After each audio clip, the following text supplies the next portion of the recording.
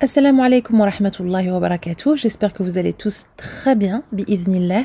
Nous allons nous concentrer aujourd'hui sur Suratul Asr. Suratul Asr, surat euh, euh, dont le titre signifie le temps. Car Allah subhanahu wa ta'ala, dans cette sourate, jure par le temps. Par le temps, l'homme est certes en perdition sauf ceux qui croient et accomplissent les bonnes œuvres, s'enjoignent mutuellement la vérité et s'enjoignent mutuellement l'endurance. Subhanallah. أعوذ بالله من الشيطان الرجيم بسم الله الرحمن الرحيم والعصر. إن الإنسان لفي خسر. إلا الذين آمنوا وعملوا الصالحات. وعملوا الصالحات وتواصوا بالحق وتواصوا بالصبر Nous allons donc euh, effectuer la tilawa de la sourate Al-Asr, mais cette fois-ci en nous concentrant sur les règles du Ra. En effet, dans cette sourate, on retrouve la lettre Ra à la fin de chacun des versets. Cette sourate contient trois versets. Les Ra ici, quand on les regarde de près, portent une kasra ou alors kasratin une kasra dans le premier verset et dans le troisième, et kasratin dans le deuxième verset. Le ra est parfois aminci, parfois emphatique. La règle de base veut qu'il soit emphatique lorsqu'il porte une fatha ou une dhamma et qu'il soit aminci lorsqu'il porte une kasra. Ici c'est particulier parce que lorsqu'on s'arrête sur un soukoun, le ra sakin ne porte plus ni fatha, ni kasra, ni dhamma. À ce moment-là, il va falloir regarder la voyelle qui précède.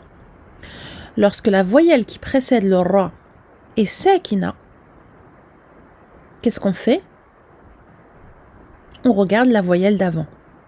Et la voyelle précédente ici, par exemple dans le premier verset, est une fatha. Du coup, le ra ici sera emphatique. Wal asr. Il se passe exactement la même chose pour le ra de khusr. Pourquoi? Donc le ra sakin, car on s'arrête dessus, est précédé d'un soukoun, qui lui-même est précédé d'une dhamma. Et on avait dit que pour qu'il soit emphatique, il faut qu'il y ait soit dhamma, soit fatha. C'est cette dhamma qui compte pour déterminer donc que le ra sera mufakham, c'est-à-dire emphatique. La fille khusr.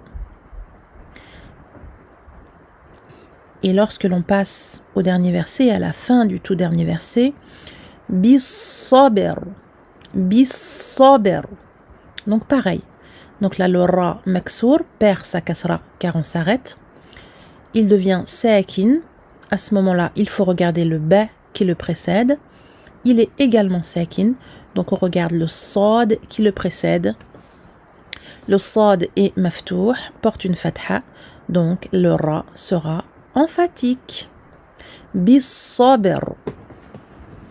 On reprend la tilawa en essayant de décortiquer un tout petit peu plus les règles de tajwid. On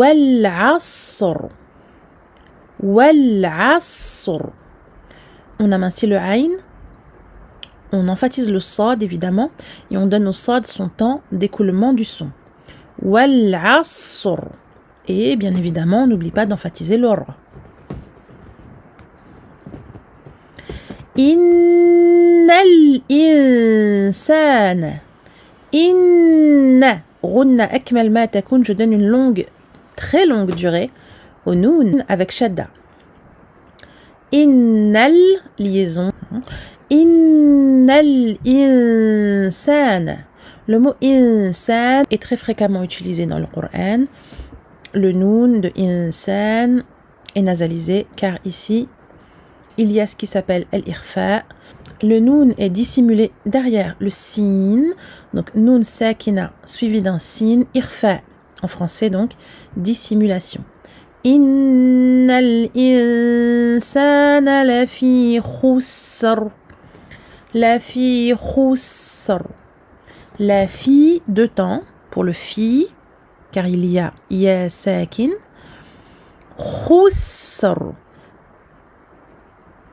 Il n'y a pas uniquement le ra qui est mufakham, emphatique, le kha est également emphatisé. Le signe doit être euh, prononcé de façon euh, longue, car ici, écoulement du son.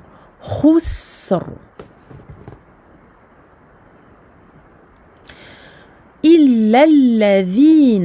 Attention à ne pas prononcer un del en lieu et place du vel. Illalladhina amanu. Amanu. Deux temps.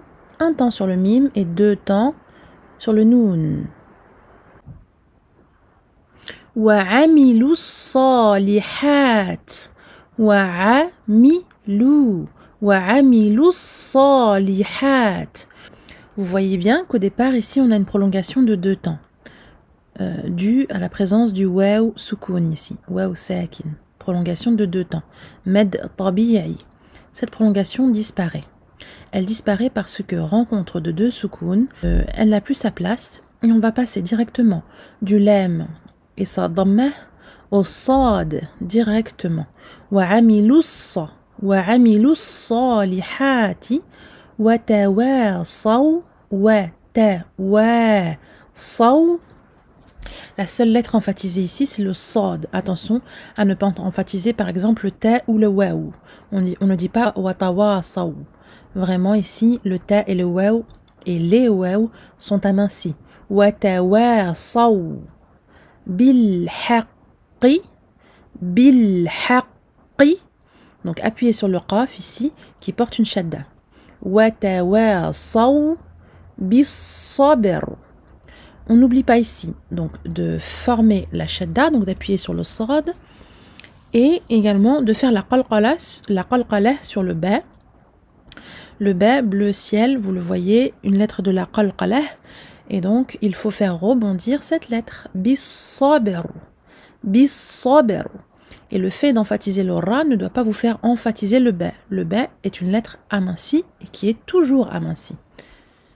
Nous avons terminé Tilawat Suratul Asr.